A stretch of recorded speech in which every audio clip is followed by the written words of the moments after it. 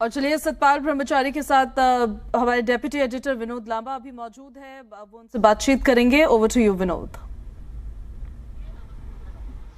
देखिए, निश्चित तौर पर तमाम सांसदों ने कल शपथ ली है और पहली बार जो सांसद बनकर आए, वो भी शपथ ली है। लेकिन सतपाल ब्रह्मचारी महाराज की हम बात करेंगे, जो कि पूजा पाठ और अपने जिस तरह से महाराज भी हैं और तमाम पूजा पाठ के साथ जो धार्मिक उनकी रीति रिवाज हैं और कुन कुन जो कुछ चुनिंदा सांसद थे जिन्होंने संस्कृत में शपथ ली, सांसद पद की, उनमें से सतपाल ब्रह्मचारी जी थे, जो कि सोनीपत से कांग्रेस के सांसद सर, एक महत्वपूर्ण लम्हा नज़र आया आपका, जैसा कि आपका पूरा आचरण रहा है, पूजा पाठ का ब्रह्मचारी हैं और तमाम जो चीज़ें हैं। कल संस्कृत भाषा में शपथ लेने वाले उन चुनिंदा सांसदों में आप भी रहे, जो कल पार्लियामेंट में नज़र आए। देखिए, संस्कृत सब भाषाओं की जननी है। संस्कृत से ही सब भाषाएँ निकलती हैं। और संस्कृत हमारा पुरातन से, शुरू से ही संस्कृत प्रभावी देश रहा है। और मेरा तो सब्जेक्ट ही संस्कृत रहा है। संस्कृत है सर, एक बात मैं लगातार कह रहा था जब से आपकी एंट्री हुई हरियाणा में और जिस तरह से उम्मीदवारी में नाम था, फिर सांसद बने। एक जो छवि की बात होती थी तो कांग्रेस के पास भी आप जैसी एक धार्मिक और पूजा पाठ के साथ रहने वाले सांसद आ चुके हैं। कितना महत्वपूर्ण हो जाता है सनातन से जुड़े रहना और आपके जो पूरी प्रैक्टिस रही हैं, यानी कि पुजारी के तौर पर भी चाहे आप जींद में जुलाना की बात कर लीजिए या फिर हरिद्वार की बात कर लीजिए, कितना महत्वपूर्ण और कितना प्लस है कांग्रेस के लिए। देखिए, सोनीपत हल्के में हमारे तीन से चार आश्रम हैं और आज से नहीं है डेढ़ सौ वर्ष पुराने आश्रम हैं। चाहे गांगोली हो, पिंडारा हो, सफीदों हो और संस्था के जितने भी सेवक हैं, वही क्षेत्र है, सोनीपत और जींद का, रोहतक साइड का। और आश्रम आज से नहीं है, हरिद्वार में भी दो आश्रम है, गौशाला भी है, यहाँ भी गौशालाएँ हैं। मैं सनातन धर्म का पालन करने वाला और साथ में छत्तीस बिरादरी का मैं सम्मान करता हूँ। सभी धर्मों का मैं अपने ओर से सम्मान करता हूँ चाहे किसी भी धर्म के लोग हों सबको एक जैसा मानता हूँ। तो कितना ये सर अब बात कर लेते हैं कि अब जो प्रायोरिटीज क्या हैं? बतौर सांसद मैं पूछूँ तो एमपी साहब आपकी प्राथमिकता क्या रहेगी? हरियाणा की वो कौन सी आवाज़ है? सोनीपत की वो कौन सी आवाज़ है? कौन से मुद्दे हैं जो एमपी सतपाल ब्रह्मचारी जी के ज़रिए लोकसभा में गूंजेगी और आप ध्यान आकर्षित करेंगे? देखिए सबसे पहला तो हमारे यहाँ नौजवान जो बेरोजगार घूम रहे हैं, उनके रोज़गार की बात करनी। उसके बाद सोनीपत की जो समस्या है, सोनीपत से लगभग पंद्रह से बीस हज़ार व्यक्ति रोज दिल्ली आता है, अपने रोज़गार के लिए, व्यापार के लिए, अन्य कामों के लिए। मेरी प्राथमिकता है मेट्रो। जब मेरठ जा सकती है, मेरठ से भी आगे जा चुकी है और इधर हमारा रोहतक आ चुकी है, हमारे एमपी साहब के प्रयास से, दीपेंद्र जी के तो यहाँ भी मेरा प्रयास रहेगा कि सोनीपत जल्दी से जल्दी मेट्रो का काम शुरू हो। एमपी साहब, कुछ घोषणाएँ अभी हुई थी जब आचार संहिता नहीं लगी थी? भाजपा के द्वारा एक्सटेंशन की बात की गई थी, उसमें ये था कि भाई दिल्ली सरकार की तरफ़ से स्वीकृति नहीं हो रही है। क्या वो सब प्लान में ही सोनीपत था या सोनीपत के लिए नए सिरे से आप लोगों को काम करना देखिए, मुझे पूरी जानकारी नहीं है। मैंने जब से चुनाव की शुरुआत की है, मेरा सबसे पहला काम मेट्रो का होगा, सोनीपत के लिए। चाहे दिल्ली से परमिशन मिलो, हरियाणा से मिलो, उसमें पूरा प्रयासरत हूँ और निश्चित तौर पर इसका रिज़ल्ट अच्छा आएगा। रही बात सोनीपत में कोरोना के बाद दो तीन ट्रेनें ऐसी हैं जो अभी भी नहीं रुक रही हैं या चल नहीं रही हैं। मेरा प्रयास रहेगा दोनों ट्रेनें सुबह के टाइम और शाम के टाइम जब भी जैसे वो चलती थी उसी प्रकार चलाने का काम मैं सरकार से कराऊँगा रेलवे मंत्री से भी मिलूँगा। जिस दिन प्रश्नकाल लगेगा पहले दिन आप सवाल लगाएँगे? बिल्कुल लगाएँगे। यही सवाल होगा। और जींद को जो हम जींद जुलाना सफ़ीदों को आज भी हरियाणा में कहते हैं पिछड़ा एरिया है। वो पिछड़ा एरिया जो शब्द है वो चुभता है उसको हटाने का काम भी मैं करूँगा। सर एक सवाल और बताइए अब जो मुकाबला है यानी कि पहले जो होता था 2019 तक के लोकसभा चुनाव और 24 तक का जो पूरा वक्त रहा 10 के 10 भाजपा के थे ये बैलेंस कितना बनेगा? कि क्योंकि पाँच सांसद हैं अब कांग्रेस के और पाँच सांसद हैं भाजपा के तो पूरी आवाज़ पूरे देश में जो हरियाणा की आवाज़ जाने का काम आप पाँच सांसद करेंगे? बिल्कुल करेंगे और हमारा बहुत जल्दी ही कांग्रेस का रोड मैप तैयार हो रहा है। आज मीटिंग है। माननीय राहुल गांधी जी और माननीय खड़गे साहब। कल है। कल हाँ कल है। तो उस आज भी हो सकती है आज आज उसकी मीटिंग है। आज बाबरिया साहब ने तमाम जो उम्मीदवार हैं उनको बुलाया है। कल आप लोगों के साथ खरके साहब बैठेंगे राहुल गांधी साहब बैठेंगे। दोनों लोग बैठेंगे और रोड मैप तैयार होगा हरियाणा विधानसभा का। मैं कहना चाहता हूँ आपके माध्यम से छियालीस विधानसभाओं में कांग्रेस आगे रही है और जहाँ पीछे भी रही है, जैसे मैं अपनी बात करता हूँ, पंद्रह सोलह सौ वोट से मैं गन्नौर में पीछे रहा और तेईस सौ वोट से दो हज़ार के आस थोड़ा आगे उसमें राई में रहा। और ये ऐसे ऐसे जो कई ऐसी विधानसभाएँ हैं, अगर इनमें भी दो दो तीन तीन हज़ार वोट मिल जाते तो निश्चित हम पचपन और साठ के पार पहुँचते और आने वाला विधानसभा लोकसभा का चुनाव अलग प्रिय होता है। लेकिन आपने ज़िक्र छेड़ी दिया है मार्जिन का तो शैलजा जी हो या तमाम लोग उन्होंने भी कहा कि भाई उम्मीदवार ठीक नहीं थे। हालाँकि आप जीत के भी आ चुके हैं बात खत्म हो चुकी है। लेकिन फिर भी कह रहे हैं कि अगर सोनीपत में कोई और उम्मीदवार देते आ, तो मार्जिन बड़ा हो सकता था। तो भाई वो तो हाईकमान का काम है। ठीक? क्या पता कितना बड़ा होता? अच्छी बात है वो कह रहे हैं कोई उम्मीदवार होते तो बता देते उस समय। लेकिन मैं बहन जी हैं बड़ी हैं सीनियर हैं हमारी मैं उनका सम्मान करता हूँ।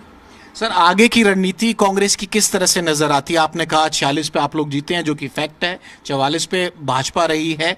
लेकिन जो मेरी जानकारी है, रोहतक में एक बड़ी बैठक की गई और भूपेंद्र सिंह हुड्डा साहब के गढ़ में ही सीधा चैलेंज देने का काम अब भाजपा कर रही है, क्योंकि सीधा असर तो विधानसभा चुनाव में होता है। और जो जानकारी है हमें भाजपा के सूत्रों से उन लोगों ने, साठ सीटों का टारगेट रखा है, साठ मिशन रखा है आगामी विधानसभा चुनाव के लिए। पीछे भी उन्होंने पचहत्तर का रखा था, नारा भी दिया था पचहत्तर पार। और अब लोकसभा में 400 पार का नारा दिया है। आपके सामने है सब।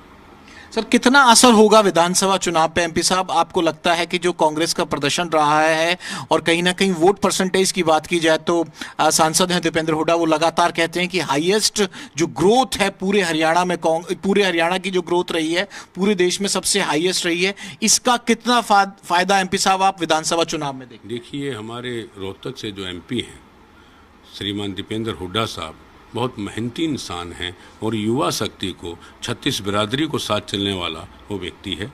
मैंने बहुत नज़दीक से देखा उनको इस चुनाव में और आजकल भी, कल लोकसभा में भी थे, पहले भी साथ थे। उसके, उनके नेतृत्व में अगर ये चुनाव लड़ा जाता तो निश्चित तौर पे हरियाणा में कांग्रेस की सरकार बनेगी। उनके नेतृत्व में एक सवाल का सर आखिरी जवाब दे दीजिए।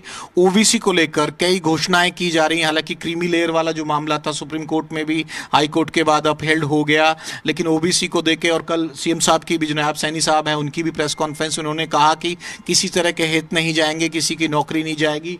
रिव्यू पिटिशन डालना होगा, वो भी डालेंगे और तमाम जो घोषणाएँ की गई हैं, उनको लागू करके किसी को बेरोजगार नहीं होने दिया जाए कल भी उन्होंने काफ़ी लोगों को बेरोजगार किया है। पहले आपने देख लिया होगा। नेट हो चाहे नीट हो, कोई भी परीक्षा हो, उसमें सारी गड़बड़ियाँ पाती। मानना भी उनके मंत्री ने माना कि हाँ गलती हुई है। फिर भी रही बात हरियाणा की। ओबीसी को ठीक है, उन्होंने दिया। हम सबका सम्मान करते हैं, लेकिन चार बड़ी जातियों को जो आरक्षण टेन परसेंट दिया था हुडा सरकार साहब ने, हुड्डा जी ने, अपने मुख्यमंत्री काल में और कांग्रेस की सरकार में। लेकिन उसको बंद करने का काम भी तो भारतीय जनता पार्टी की सरकार ने किया।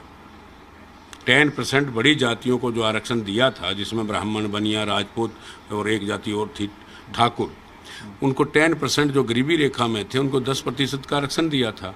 लेकिन बहुत दुर्भाग्य की बात है, इस सरकार ने आते ही उसको बंद किया।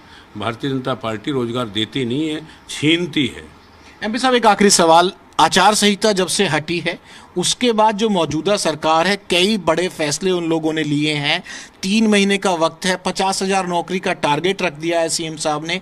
इन तमाम चीज़ों को करते हुए क्या आप लोगों को लगता है कि भाजपा अपनी तरह से तमाम जो प्रयास कर रही है, वो विधानसभा चुनाव तक काम आएँगे, उनकी मजबूती होंगी, क्योंकि वो तो अब युद्ध स्तर पर नौकरी की और तमाम ऐसे जो कार्य हैं, वो करते हुए नज़र आ रहे हैं। क्या पहले सो रहे थे क्या? दस साल से आपका राज था हरियाणा में वो बताएँ कौन सी नौकरी दी है? अब चुनावी वादे हैं ये। ये तो खुद ही कहते हैं हमारे जुमले थे। आपने कितने किए होंगे? दो करोड़ भारत के प्रधानमंत्री आदरणीय नरेंद्र मोदी जी ने कहा था कि दो करोड़ लोगों को हर साल रोज़गार देंगे। आप पूछ रहे हैं उनसे आंकड़े कितने रोज और हरियाणा में तो ऐसा हाल है, दो लाख रिक्त पद आज भी हैं। युवा को कौन सा कौशल, विकास कौशल, पता नहीं क्या क्या नाम रखते हैं नई नई उनमें पंद्रह हज़ार पर ये बंधुआ मजदूर की तरह रखना चाहते हैं। आप अग्निवीर देख लीजिए। इनके लोगों ने, इनके घटों ने माना कि अग्निवीर ठीक नहीं है। और ये माननीय हमारे जो राहुल गांधी जी ने ये कहा कि जब हमारी सरकार कांग्रेस की बन जाएगी, ये अग्निवीर रद्दी के खाते में जाएँगे। जिस तरह पहले भर्तियाँ होती थी, रोज़गार मिलता था, इस तरह काम करेंगे।